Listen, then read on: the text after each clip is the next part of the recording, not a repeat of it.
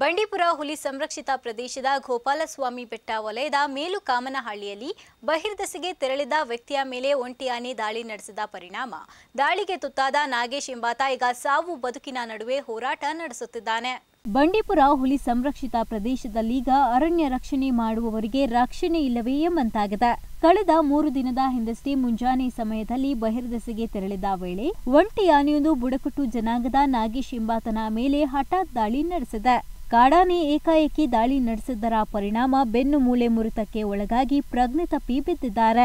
ಗುಂಡ್ಲುಪೇಟೆ ಪಟ್ಟಣ ಆಸ್ಪತ್ರೆಯಲ್ಲಿ ಪ್ರಥಮ ಚಿಕಿತ್ಸೆ ಕೊಡಿಸಿ ಜಿಲ್ಲಾಸ್ಪತ್ರೆಗೆ ರವಾನಿಸಿದ ವೇಳೆ ಬೆನ್ನು ಮೂಳೆ ಮುರಿದಿದೆ ಎಂಬುದನ್ನ ವೈದ್ಯರು ಖಚಿತಪಡಿಸಿದರು. ನಂತರ ಮೈಸೂರಿನ ಆಸ್ಪತ್ರೆಗೆ ಸೇರಿಸಿ ಚಿಕಿತ್ಸೆ ಕೊಡಿಸಿದರೂ ಸಹ ಹಣ ಹೊಂದಿಸಲಾಗದೆ ವಾಪಸ್ ಮೇಲುಕಾಮನಹಳ್ಳಿ ಮನೆಗೆ ಕರೆತಂದಿದ್ದಾರೆ ಇಷ್ಟೆಲ್ಲ ಘಟನೆ ನಡೆದರೂ ಸಹ ಪಕ್ಕದಲ್ಲೇ ವಲಯ ಅರಣ್ಯಾಧಿಕಾರಿ ಕಚೇರಿ ಇದ್ರೂ ಸಹ ಆರೋಗ್ಯ ವಿಚಾರಿಸಿಲ್ಲ ಎಂದು ತಾಯಿ ಮಾಚಿ ಅಳಲು ತೋಡಿಕೊಂಡಿದ್ದಾರೆ.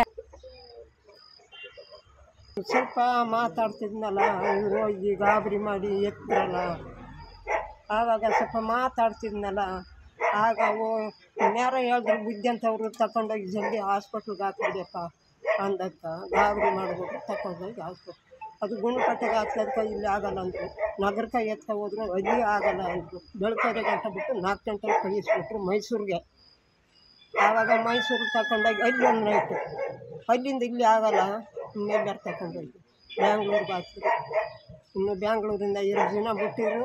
ಆವಾಗ ಇದಕ್ಕೆ ಕರ್ಕೊಬಂದ್ರು ನಮ್ಮ ಕೈಲಾದಾಗ ನಾವು ನೋಡೀವಿ, ಇನ್ನು ನಿಮ್ಮ ಕೈಲಾದಾಗ ನೀವು ನೋಡ್ಕೊಳ್ಳಿ. ಒಂದು ತಿಂಗಳಾದ ಮೇಲೆ ಆವಾಗ ಫೋನ್ ಮಾಡ್ತೀನಿ ತಗೊಬಂದು ಅಡ್ಮೆಂಟ್ ಮಾಡಿ ಅಂತ ಹೇಳಿದ್ರು. ಹಾಸಿಗೆ ಹಿಡಿದಿರುವ ಮಗನ ಹಾರೈಕೆಯಲ್ಲಿ ತೊಡಗಿರುವ ತಾಯಿ ಮಾಚಿ ಚಿಕಿತ್ಸೆಗೆ ಹಣ ಹೊಂದಿಸಲಾಗುತ್ತಿಲ್ಲ ಎಂದು ಕಣ್ಣೀರು ಹಾಕುತ್ತಿರುವ ದೃಶ್ಯ ಎಂತವರ ಮನಸ್ಸು ಕೂಡ ಕರಗುವಂತಿದೆ. ದಾನಿಗಳ ಮುಂದೆ ಅಂಗಲಾಚುತ್ತಿರುವ ತಾಯಿ ಮಾಚಿಗೆ ಸಹೃದಿಗಳು ಹಣ ಸಹಾಯ ಮಾಡಿ ಎಂದು ನೆರೆಹೊರೆಯವರು ಮನವಿ ಮಾಡಿದ್ದು, ಸಹಾಯ ಮಾಡಲು ಇಚ್ಛಿಸುವವರು ನಾಗೇಶ್ ತಾಯಿ ಮಾಚಿಯವರ ಬ್ಯಾಂಕ್ ಖಾತೆಗೆ ಜಮಾ ಮಾಡಬಹುದಾಗಿದೆ.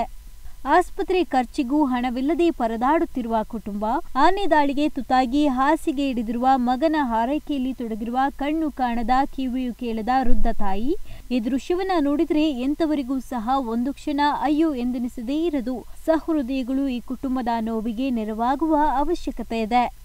ಶಿವಕುಮಾರ್ ಅಮೋಕ್ ಟಿವಿ, ಗುಂಡ್ಲುಪೇಟೆ.